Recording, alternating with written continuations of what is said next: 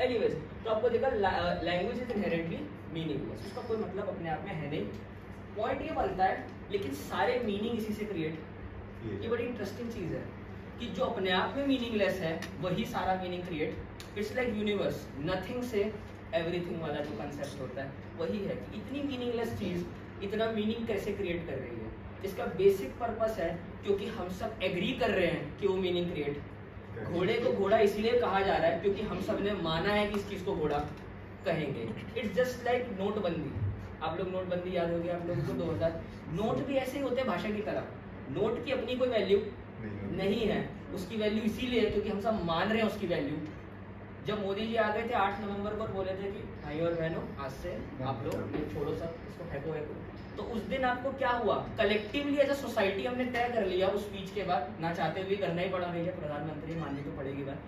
कि हम इस नोट को जो अभी तक हम जिसको वैल्यू दे रहे थे कलेक्टिवली कोई वैल्यू इसकी नहीं है। इट बिकेम कुछ चेंज हुआ था उसमें।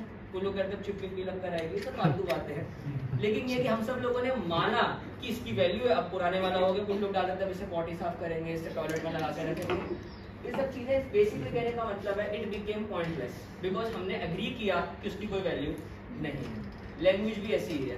जब तक हम मानते हैं सब लोग कि आज से इसको ये कहेंगे, हम सबने माने, इस चीज़ को बोतल कहेंगे, इसमें पानी भरते हैं। तो मीनिंगलेस हमारा, हम मीनिंगफुल है, हम सबके लिए बोतल यही है। पर अगर हम सब लोग एक दिन मान ले कि अब बहुत हो गया दुनिया का आज से इसको बोतल नहीं आज से इसको घोड़ा कहेंगे।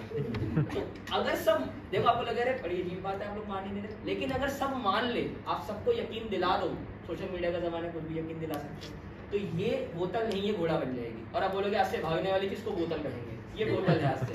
वो देखो बोतल पे भाग रहा है। बोतल से इसकी बोतल बड़ी तेज है। अरे आपका घोड़ा बड़ा अच्छा है। पानी मान जाएँगे हम लोग। पॉइंट ये कि सबको मना लो बस। यही चीज़ के साथ भी है। रिलीजन वर्क्स लाइक दैट बिल्कुल सही।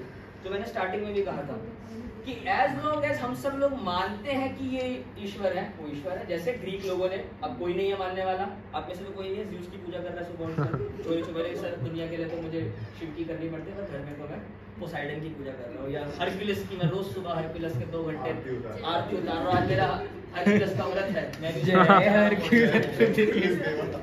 क्योंकि सबने मान लिया है पॉपुलैरिटी तभी वो फिलोसोफर हुआ मैं भूल रहा हूँ नाम उनका। लेकिन उन्होंने बात बड़ी कही है कि एक इंसान बेवकूफ़ी करता है तो वो बेवकूफ़ी है। लेकिन बहुत सारे लोग बेवकूफ़ी करते हैं तो वो धर्म हो जाता है। क्योंकि वो कलेक्टिव मैडनेस है।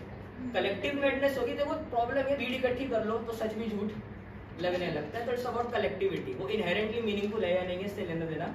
लैंग्वेज का यही है। तो अब आगे बढ़ते हैं हम लोग। तो ये